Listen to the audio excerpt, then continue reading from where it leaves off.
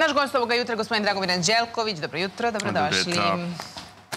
Hoćemo sada neke ozbiljnije teme. Mariću... ti nisi dolazi ovde, mi smo ovde pitali razne ljude, vidio si te e, izveštaje da su agenti CIA evakuisani iz Beograda jer su ruski obaveštajci puštali neke cvrčke i njima je zujao u glavi. Ja ovo govorim iz New York Timesa, govorim iz Washington Posta. Jeste, delo je kao da smo mi smislili, ali verovali ili ne, srpski tabloidi. Ti, ti si... Pazi, prevazišli su sve srpske I Marića su prevazišli. Pazi, ovo ja nisam mogu da znam. Pazi, mi smo vodili u toj trci. Postigli smo ozbiljne rezultate u izmišljanjima i sad su nas otukli. Amerika to kaže da im je ovaj, zuja u glavi, da su cvrčci iza toga. Ja sam morao neđu da zove... A ona naša MUA 5G, vi znate da imamo jednu MUA 5G koja je stalno ovdje u studiju? Pa možda to je 6G. I ja nisam sigurna sada, možda su oni to poslali i oni su otkrili. Ja nam su dali kinezi ovu svilenu bubu koja je 5G napadali su toliko Trumpa da je neozbiljan, da unosi duh tabloida u politiku. I šta sad? Isti ti mediji koji su napadali Trumpa i koji su bili zagovornici onog neoliberalnog mainstreama sada prave najgori mogući geopolitički reality. Pazi, eh, havanski sindrom, eh, cvršci. Da li su oni stvarno svesni šta rade? Ja sam mislio da Amerika ozbiljna zemlja, da zna šta radi. Da... Pazi, da ozbiljno laže, ali ovo je već prevazišlo sve standarde. Kad krenu na nas da da imaju neki, ne, neki razlog, nešto su oni smislili. Ne, to, to ovako. Pa pazi, gledaj, da su oni banalno lagali ranije, mi to znamo, evo Račak, mm. ili Srebrenica, ili Čekaj, Tuzla. To su, ali sve su oni to, isterali, to sad, sve krivična dela. Jeste, pazi, to su laži, pa neke dokaze naprave, ozbiljne laži, lažu ozbiljnim Onda stvarima. A sad su krenuli da lažu o neozbiljnim stvarima. Zamisli sad nas kazne zato što sumnjamo u cvrčka. Čekaj. Donesu zakon o zaštiti dela cvrčka. Ko negira da je cvrčak vrlo opasna špijunska pojava, taj idu zakon. Da su Rusi gađali cvrcima uh, pa ako, ako Insko može donese zakon o laži o Srebrenici, pa može neko donesi i u cvrčku. Ne, ne bi me iznenadio, ništa mene... Pa ništa, pa dotle smo stigli.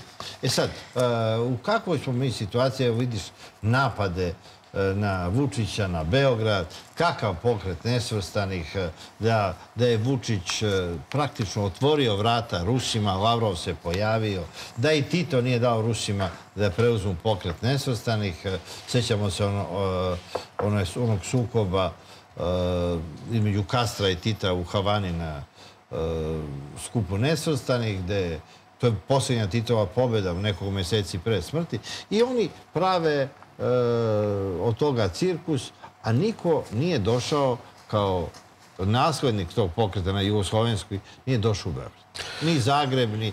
E sad, evo, Vučić im je oteo pokret NES. Ne, tu imamo dve dimenzije. Ajde prvo da krenemo od ove globalne. Uh, Rusi danas imaju puno pravo da budu posmatrač u pokretu. Ne, Rusi... oni imaju sa svim tim zemljama Dobre bolje odnose nego Drugo, mi. koji rat je moderna Rusija započela? Gde Rusija danas uh, svoju ideologiju nameće? Šta Rusija to radi ekspanzionistički? Ništa. U istinu, Rusija se ponaša potpuno drugačije od Sovjetskog savjeza. Sovjetski savjez je bio uh, ideološki motivisan na super sira u areni areni s Amerikom. Šta je radila Amerika? Radio i Sovjetski savez. Na nekom meridijanu pokretne stvari Amerika, negde Sovjetski savez. Amerikanci atomsku bombu, oni atomsku. Rusi danas vode... Amerikanci hidrogensku, oni hidrogensku. Rusi danas vode ozbiljnu, ali defanzivnu politiku. Brane svoje nacionalne interese, ali nigde nemaju ekspanzionistički pristup da nameću ideologiju ili bilo šta drugo. Tako da i mesto je Rusije kao posmatrača u tom pokretu. E, taj pokret se od uvek zalagao. Koliko je u praksi to bilo, to je drugo pitanje, ali se makar nominalno zalagao za miroljubive odnose u svetu. Kako se tad govorilo, miroljubiva je koegzistencija. E, Rusija e,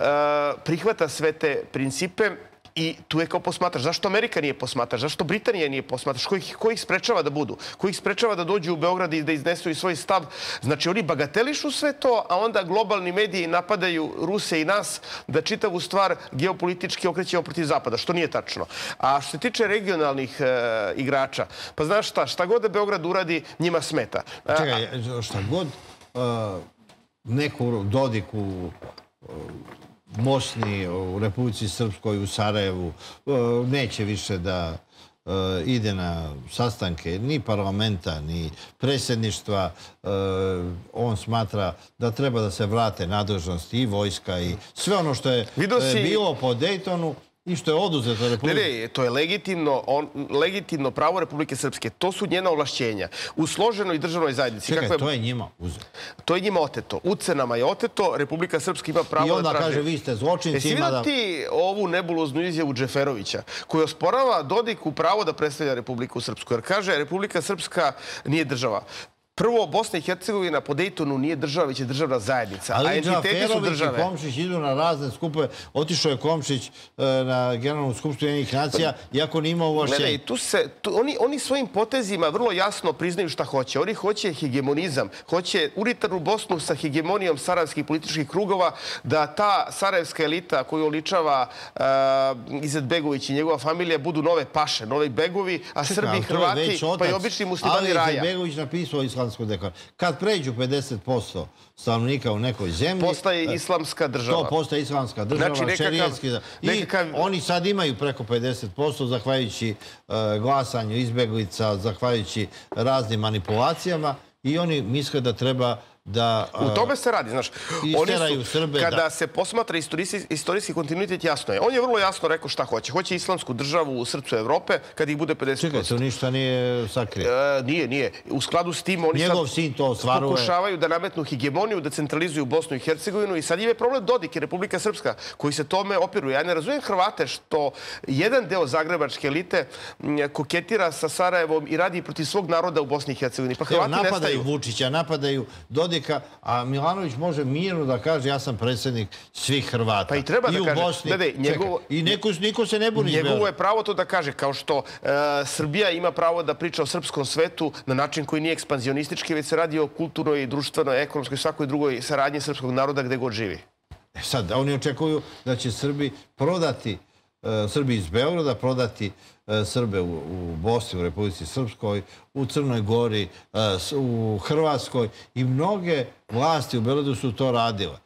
E, nije interesovalo šta se dešava sa Srbima, kako ih proteruju, kako im pale kuće, kako im ne daju da dođu na groblja. Znaš šta, ne verujem da nije interesovalo, nego nije bilo dovoljno hrabrosti da se uđe u u borbu. Nego da se ne zameraju, ozbiljno stane na crtu takvom ponašanju. Tako je, jer gledaj, Briselu, ne rade to samo naši regionalni oponenti. E, oni imaju makar žuto svetlo sa strane da tako nešto čine.